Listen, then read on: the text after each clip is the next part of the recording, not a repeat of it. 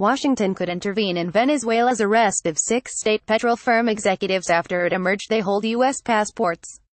Jose Angel Pereira and five vice-presidents were arrested on Tuesday, charged with making refinancing deals on the U.S. subsidiary of state oil firm PDVSA on disadvantageous terms in return for kickbacks and selling oil ministry secrets to the U.S but two anonymous sources told the U.S. Associated Press news agency that the men held dual citizenship, giving the U.S. State Department the right to intervene on their behalf.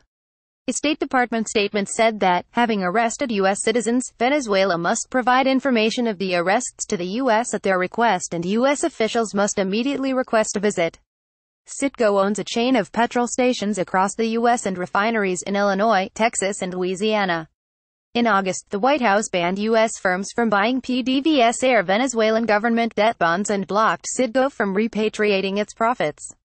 Venezuelan Information Minister Jorge Rodriguez revealed that the intermediary between financiers Frontier Management Group and Apollo Global Management was the Mangorsal firm, owned by Florida-based Venezuelan Juan Carlos Gudino.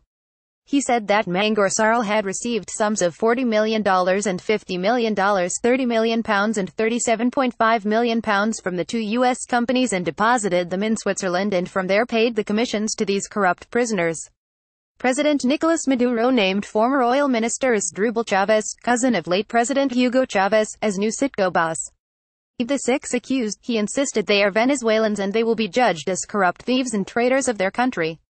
Related tags